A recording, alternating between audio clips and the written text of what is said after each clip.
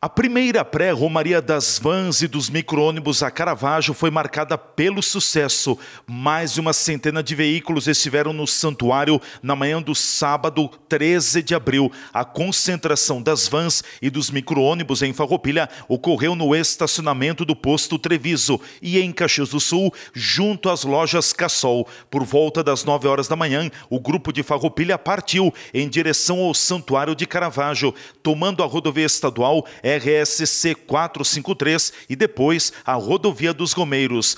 Pouco depois das 9h30 da manhã, os veículos já estavam chegando na Praça de Caravaggio. As vans e os micro-ônibus foram estacionados na esplanada do Santuário de Nossa Senhora de Caravaggio. O coordenador da pré-Romaria das Vans e dos micro-ônibus a Caravaggio, Thiago Groff, comemorou o bom êxito da primeira pré-Romaria. É muito emocionante, né? A gente fez aí a divulgação e convidou a, todo o pessoal da categoria aí e graças a Deus deu tudo certo e supriu as, as expectativas aí. A gente tinha convidado em torno de 150, 170 veículos e deu mais de 120, então tá, tá dentro do, do que a gente esperava. Muito bom, muito movimento de, de fé ao santuário. Os que disseram que viriam, realmente vieram? Sim, vieram, os que confirmaram vieram. Uh, teve pessoal, teve gente de Caxias do Sul, de Flores da Cunha, uh, de Bento, de Farroupilha, então e todos estão aí, graças a Deus. É bacana de ver muitos motoristas com as famílias aqui, né? Crianças, as suas mulheres. Realmente é importante, né? Pedir essa proteção para Nossa Senhora. Com certeza. A gente, já quando a gente estava divulgando, convidando o pessoal, a gente convidava as famílias também.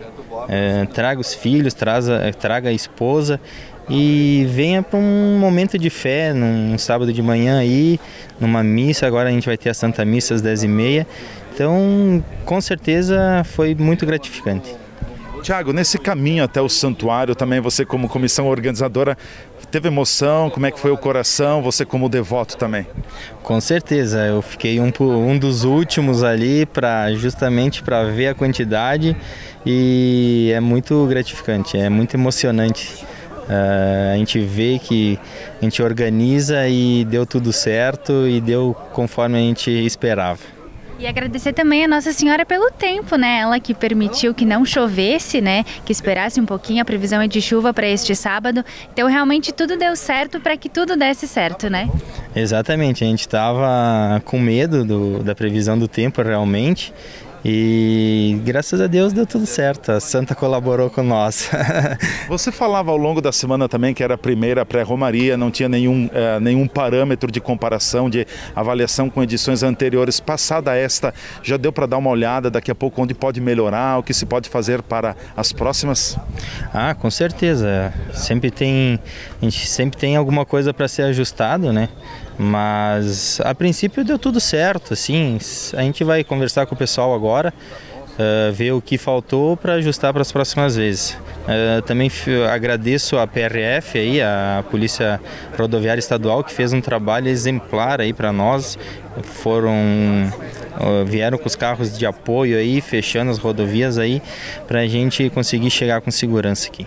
O reitor do Santuário de Nossa Senhora de Caravaggio, padre Ricardo Fontana, também enalteceu a grande presença de veículos na primeira pré-romaria das vans e dos micro-ônibus. A todos os que estão conosco pela rádio Miriam Caravaggio 95.7, também a você que nos assiste através da TV Serra, sim, uma grande alegria a gente poder dar início aos festejos da centésima quadragésima quinta Romaria em honra a Nossa Senhora de Caravaggio, com a primeira romaria, pré-romaria, com a primeira pré-romaria das vans e micro-ônibus, por iniciativa aí da Rafaela, né?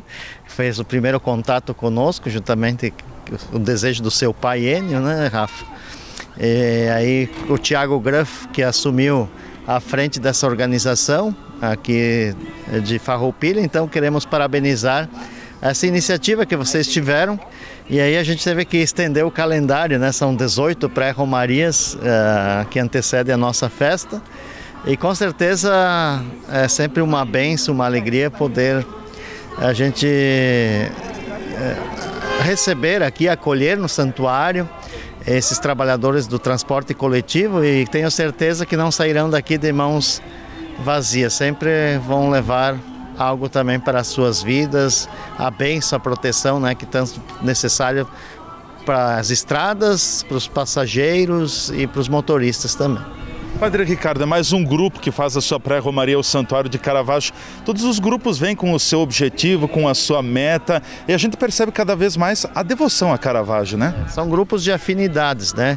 Então, os cavalarianos, os motociclistas, os ciclistas, e não é diferente para os transportadores do coletivo de vans e micro-ônibus, são pessoas batalhadoras que acordam muito cedo, que têm horários diversos durante o dia, um horário diversificado e que têm esse compromisso né, de estarem aí cumprindo seus horários, de, zelando pelas crianças que vão para as escolinhas, que vão para as escolas, para os trabalhadores que vão para as empresas, uh, para os turistas né, que vão fazer seu passeio.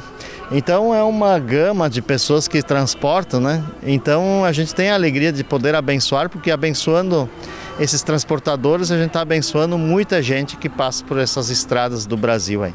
E para a gente finalizar, a gente vê um grande número aqui, mas a gente sabe que muitos não puderam estar presentes, né? Por inúmeros fatores. A gente pode falar, né, que de repente o senhor deixar a proteção para essas pessoas que não vieram aqui, mas que de certa forma acreditam bastante. Com certeza, todos os que estão, estão nesse trabalho das vans, dos micro-ônibus, dos ônibus, que recebam a bênção e a proteção de Nossa Senhora de Caravaggio. Dizer que Nossa Senhora uh, sempre tem a sua mão estendida para abençoar. Então basta ter fé, basta acreditar e vamos contar com a graça de Deus. Nós vivemos um país que infelizmente as estradas não são das melhores, a educação no trânsito também ainda não é das melhores.